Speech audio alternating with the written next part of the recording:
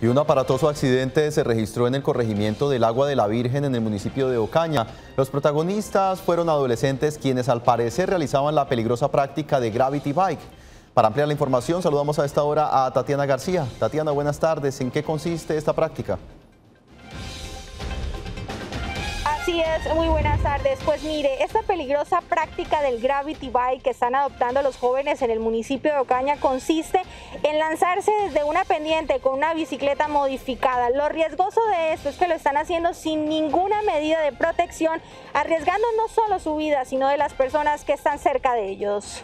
Esta peligrosa práctica registra una víctima en el corregimiento del agua de la Virgen. La alta velocidad con la que descendían los jóvenes en bicicletas modificadas para tal fin hizo que uno de ellos perdiera el control en una curva y chocara con las personas que venían en el otro carril. Nos encontramos con 8 o 10 muchachos que venían a alta velocidad bajando del agua de la Virgen. En una cicla venían dos montados. La curva les ganó y fueron a parar contra mis dos hijos. Por fortuna, eh, Fran cuando vio que iba para mi hija, la alcanzó a echar para la cuneta y cayó en la, en la montaña. A él pues recibió el mayor impacto de la bicicleta en el accidente, un joven que practicaba ciclismo en el sector se llevó la peor parte, sufrió politraumatismos en diferentes partes del cuerpo. Tiene politraumatismos en el abdomen, en la rodilla, en el codo, un politraumatismo eh, craneal. A raíz del incremento de esta peligrosa práctica en el municipio de Ocaña, la Policía de Tránsito dispuso una unidad especial para evitar más accidentes como este y realizar controles constantes. Se han hecho controles acá en la vía principal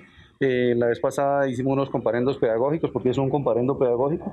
El llamado, la recomendación hace que por favor los padres de familia estemos pendientes de estos muchachos, son niños de hasta de 8 o 10 años que andan en bicicleta y de una manera irresponsable. Y en Oriente Noticias estaremos al tanto de los controles que adelanten las autoridades para evitar cualquier tipo de riesgos que puedan ocasionar estos jóvenes. Esta ha sido entonces toda la información desde el municipio de Ocaña. Tatiana García para Oriente Noticias estamos informando.